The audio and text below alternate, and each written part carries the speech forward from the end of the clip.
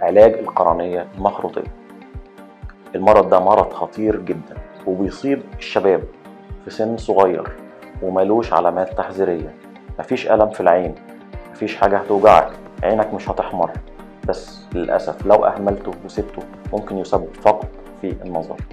إحنا بننصح كل حد نظارته بتتغير باستمرار أو حاسس بزغللة كتيرة أو عدى 18 سنة وحاسس إن نظره لسه بيضعف.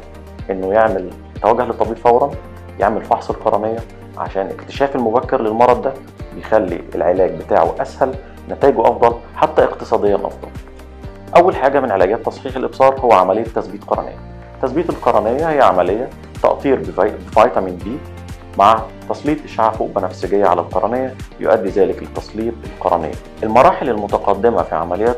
في... عمليات تصحيح القرنية المخروطية بتكون زرع الحلق حلقات بلاستيكية أو دعامات داخل القرنية لعلاج الاستجماتيزم المرتفع وللأسف الحل النهائي وهو زرع القرنية زرع القرنية مكان القرنية اللي فيها القرنية المخروطية تصحيح الإبصار لمرضى القرنية المخروطية حضرتك قمت بعمل فحص القرنية تبين وجود قرنية مخروطية هل أقدر أعمل تصحيح ولا لا؟ لو اكتشفت المرض في مراحله الأولى كان سمك القرنية بتاع حضرتك مناسب؟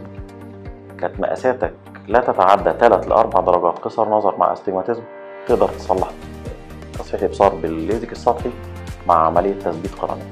بمنتهى الأمان.